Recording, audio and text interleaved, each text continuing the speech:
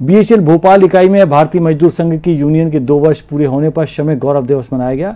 इस अवसर पर श्रमिकों से जुड़ी समस्याओं के बारे में संगठन से जुड़े पदाधिकारियों ने चर्चा की। श्रमिक गौरव दिवस कार्यक्रम में बीएमएस के अध्यक्ष विजय कठैत ने कहा कि बीएमएस की सबसे बड़ी उपलब्धि ये रही कि कोरोना काल से बंद इंसेंटिव श्रमिकों को दिलवाया गया, जिसमें प्रबंधन ने भी मदद की। इसके अलावा श्रमिकों को बोनस भी दिलवाया गया। आगे जो भी कमियाँ होंगी, उसके लिए बीएमएस मजदूरों के हक में लड़ाई लड़ता रहेगा। गौरव दिवस इसलिए मना रहे हैं कि हमने जो अपने घोषणा पत्र में जो जो जो कुछ लिखा था धीरे धीरे हमने उन उनकी तरफ़ उन कामों को प्रारंभ किया और हम कई सफल भी हुए।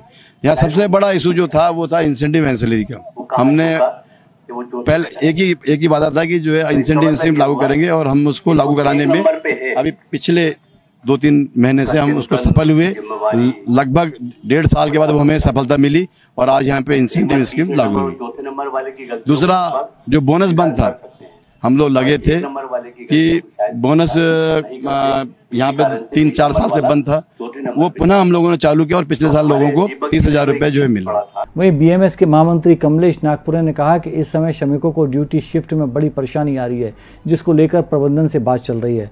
बहुत जल्द इसको भी सुलझा लिया जाएगा। वहीं टाउनशिप स्पोर्ट्स शिक्षा मंडल प्लांट कमेटी से जुड़ी जो भी समस्याएँ हैं, बहुत जल्दी बीएमएस इनका भी हल निकल पाएगी। देखिए, सबसे पहली जो डिमांड थी, जो कोरोना काल में इंसेंटिव बंद हुआ था, उस बात को लेकर के भारतीय मजदूर संघ प्रयासरत था और हम प्रबंधन को भी धन्यवाद देते हैं। कि जो इंसेंटिव कोरोना काल में बंद था, उसको जो है दिल्ली में बैठक बुलाकर और सब, सभी यूनिटों में सेंट्रलाइज लेवल पर उसको लागू किया।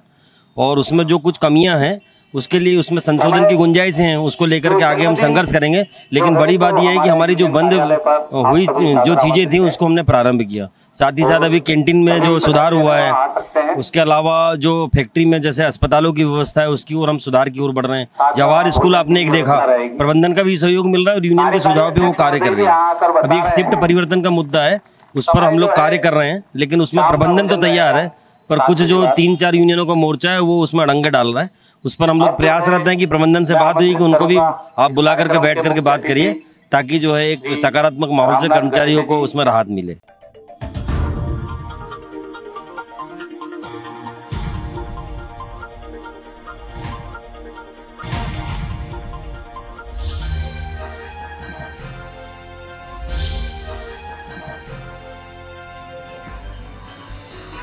आप देख रहे हैं दखल न्यूज़।